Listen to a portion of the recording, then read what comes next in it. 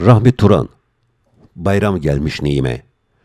Allah'ını seven söylesin, pahalılığın her yeri kavurduğu bir dönemde kaç kişi huzurlu bir bayram geçirebilir? Evet, bugün mübarek Ramazan'ın ilk günü ve ulus olarak hepimizin mutlu olması gerekir. Peki bayram sizi coşturdu mu? Eski yıllarda bayramlar bizi çocuklar gibi sevindirirdi. Şimdi öyle mi? Ülkemizin haline bakın. Eski bayramların coşkusu, heyecanı var mı? CHP'nin yerel seçimlerdeki büyük zaferi olmasa ülkede sevinecek hiçbir şey bulamazdık. İyi ki CHP kazandı. Millete moral verdi. Acı ama gerçek. Toplumumuzun yaklaşık yüzde yetmişi bayram gelmiş neyime, kan damlar yüreğime diyor. 22 yıldır iktidarda olan AKP önemli vaatlerinin hiçbirini gerçekleştiremedi. 2023 hedefleri için söz vermişlerdi. Kişi başına milli gelirimiz 25 bin dolar olacaktı. 2023 geçti. 2024'ün dördüncü ayındayız. Kişi başına milli gelirimiz vaat edilen rakamın ancak yarısı kadar. Tam bir fiyasko. Ülkemizin haline bakın. Enflasyon can yakıcı. Gençler işsizlik kurbanı. Emekliler içler acısı bir yoksulluk içinde. Ucuz ekmek, ucuz et kuyrukları uzuyor. Çiftçiler perişan. Kadınların şiddet ve vahşet kurbanı olması devam ediyor.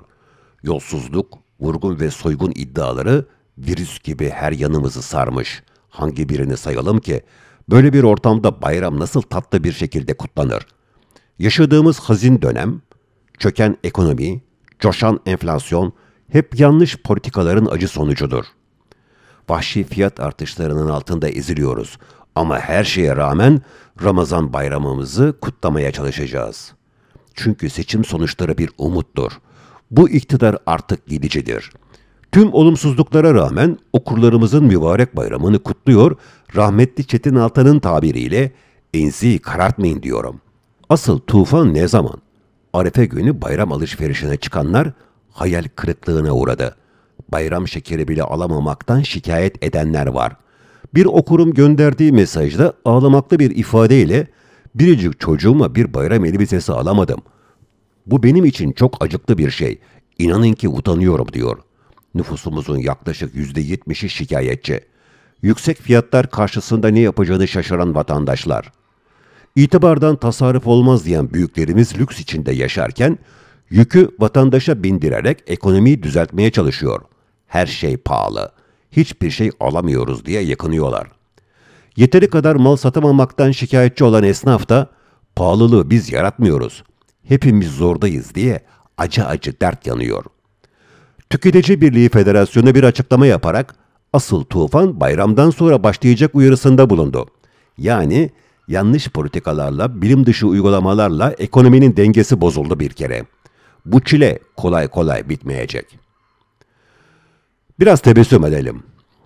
İhale nasıl kazanılır? Eski dönemde kentten birinde meclisin kapısı bozulmuş.